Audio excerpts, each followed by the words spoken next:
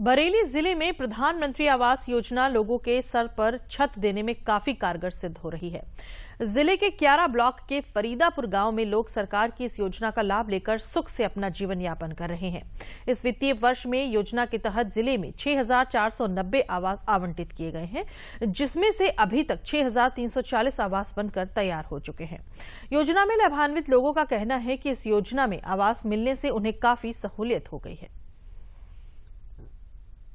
बरेली में करीब 6,490 प्रधानमंत्री आवास आवंटित हुए हैं जिसके सापेक्ष अभी तक करीब 6,340 आवास हमारे पूर्ण भी हो चुके हैं और बाकी के जो शेष करीब डेढ़ सौ आवास हमारे बने हैं वो भी मुझे लगता है अगले एक माह तक में पूरे हो जाएँगे।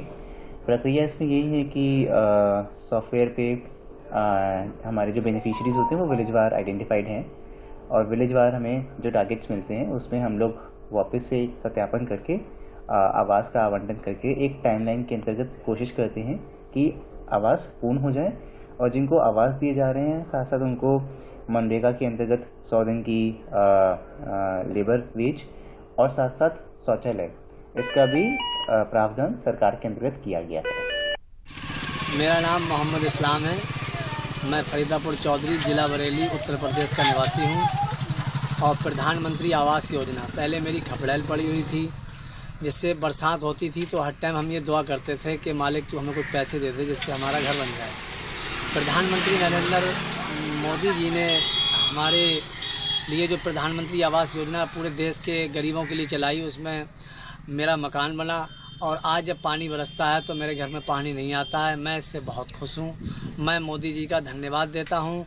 कि हमारे प्रधानमंत्री को अल्लाह सलामत रखे। प्रधानमंत्री की योजना में हमें जो पैसा मिला, हमारा पहले घर टूटा फूटा था, उसमें गुजारा करते थे, टीन सेट पड़ा हुआ था। और प्रधानमंत्री योजना में अब पैसा मिला है तो अपना ये घर बनवाया, अब बड़े आराम से रह रहे हैं, सुकून से। और अब पहले बहुत परेशानी होती थी।